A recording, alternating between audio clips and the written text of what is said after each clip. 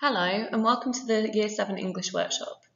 In this session I will give you an overview of what your child will be learning in English this year and discussing how you can support their literacy skills at home by using a range of reading and spelling strategies. At Key Stage 3, students are assessed in three areas reading, writing, and speaking and listening. In reading, students are taught to understand text at a literal level, understand them on a deeper level, uh, explore writers' choice of words and their choice of structure, the context in which texts have been written, and the response of the reader.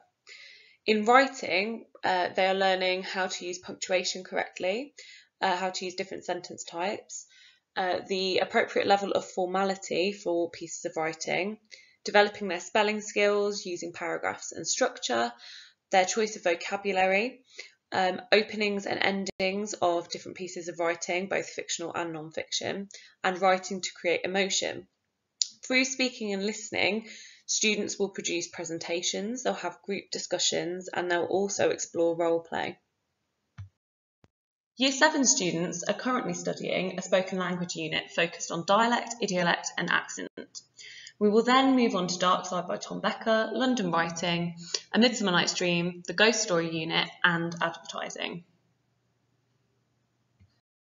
In the autumn term, Year 7 students will undertake an initial assessment that will decide what their threshold is for the rest of the year. Uh, this will appear on their interim report. Students are deemed either exceptional, excellent, secure, developing, foundation, or working towards, and then from then on, their end assessments will be considered working above target, on target, or working towards target, depending on what their initial threshold was and where they fall in relation to that. The criteria for each threshold becomes more difficult as the year progresses, and more difficult still when students move into Year 8 and Year 9. Therefore, we expect that most students will remain within the same threshold all year. This demonstrates that they are making expected progress. Year 7 students are expected to spend 30 minutes each week on their English homework. They will have the option of three tasks varying in difficulty, bronze, silver and gold. This will be available for them to see on Show My Homework. Students are encouraged to pick a task that challenges them. This should be completed on paper and handed in to their teacher. Students are also expected to read at least one book per fortnight and take a quiz on that book on the Accelerated Reader programme. In this homework example, students have the option to create a film poster, a comic strip or graphic novel, or to analyse the use of a ghost in film or television. These tasks vary in difficulty depending on the skills required to complete them. When supporting your child with their learning at home, there are two key areas that should be focused on, reading and writing. With writing, we can support them by using spelling strategies and encouraging them to proofread, and with their reading, we can help them by showing them how to tackle difficult words and encouraging active reading. It is an expectation that students will proofread their homework before handing it in. Please encourage your child to proofread their work and to use a pocket dictionary whilst they're completing it. The following websites offer different activities that are excellent at helping students to better understand grammar and punctuation. Grammar Monster, English Grammar, Grammar Secrets and English Club. These are definitely worth looking at if you think your child is struggling with a particular area of grammar. This year is slightly different in that you may not see much of your child's marked work. This is because the English department is asking students to complete their homework and assessments on paper, which will then be marked and kept at school. This is to avoid passing books back and forth between teachers and students in light of the current pandemic. However, in the event that your child is sent home with a marked assessment or piece of homework, this is what you and they can expect to see. The smiley face indicates what your child did well in. The T stands for target. Uh, your child will probably have two targets for an extended piece of work.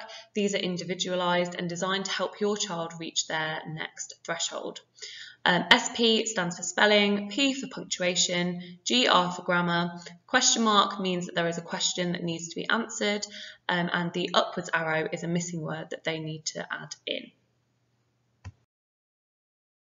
If your child is experiencing difficulties with their spelling, the following strategies can be useful with helping them.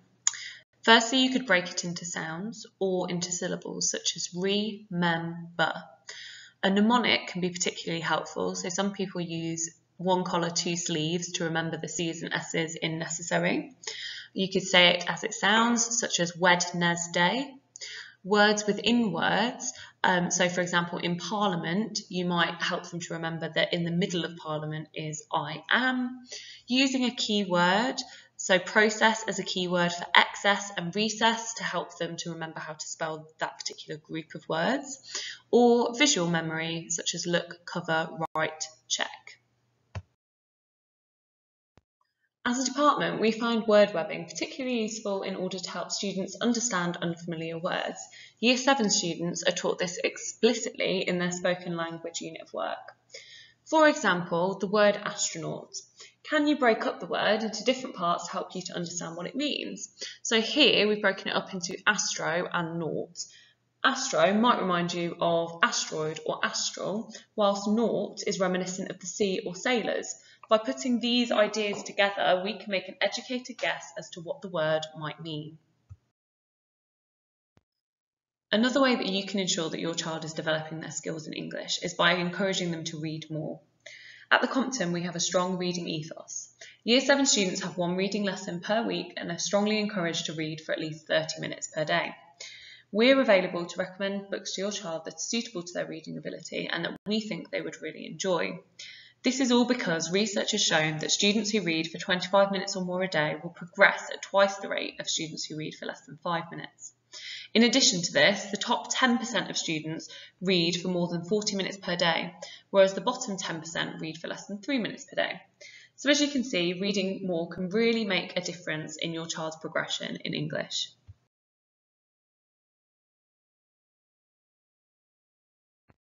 To aid students' reading, we teach explicit reading comprehension skills in Year 7 and refer to these throughout all reading and writing units of work. Students are taught to use background knowledge to decipher a text and understand what's happening, make predictions and ask questions, um, visualise when necessary. So, for example, in a descriptive piece of writing, they might be asked to draw what they can see in the description, um, identifying important words, phrases, or ideas in order to help them understand. Um, checking that things make sense might be important for a piece of writing that they're undertaking and being able to det detect errors in that, then using their repair strategies to correct these, um, making connections between important parts of the text to make meaning, and also thinking like a detective, so making inferences. These skills are essential to all subjects and all exams. By providing students with these skills, they can have greater confidence when approaching a difficult task, such as reading a challenging piece of writing in their GCSE exam.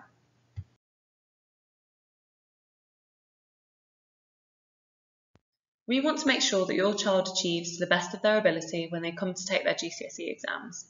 Poor literacy skills can of course become a barrier to learning and the challenges of the Key Stage 4 curriculum for all subjects. By working together and using the strategies outlined in this presentation, we can make sure that your child fulfills their potential. It's really important that we make sure that these strategies become habit.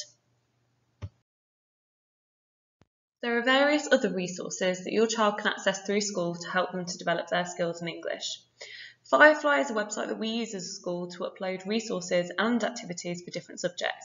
These can be downloaded and completed at home to help your child further develop their understanding of some of the different topics that they are studying in English. Reading lists are available from class teachers or the LRC.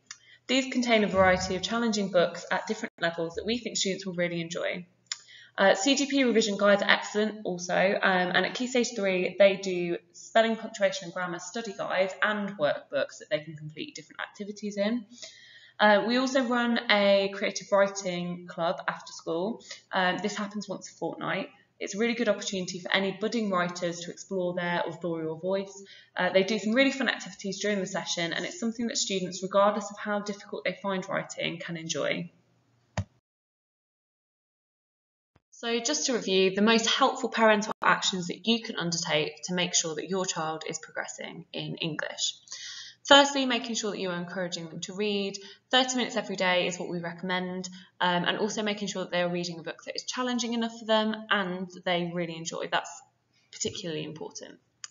Encouraging organisation, so making sure that they're checking Show My Homework regularly, they have their school bag packed with all of the essentials for the following day, they are organising their exercise book and making sure that all of their sheets, etc., are stuck into their book. Um, encouraging revision, so asking your child to review key terms and glossaries, particularly in the lead up to an assessment. These will be uh, pinpointed on Show My Homework, so you should be able to see when one is approaching. Um, encouraging homework, so making sure that your child is spending 30 minutes on their written homework and not rushing a task. Encourage their use of Firefly. They can access this from the school webpage under the student tab. It has lots of additional resources as I've already spoken about. Um, encouraging strong literacy skills, so working on spelling, grammar, punctuation. Uh, the useful websites that I've already shown you and literacy booklets on Firefly are particularly helpful for this. Um, thank you so much for listening. Um, I hope your child has a fantastic first year at Compton and that they are enjoying English and hopefully we can work together to make sure that they are developing their skills in our subject. Thank you very much.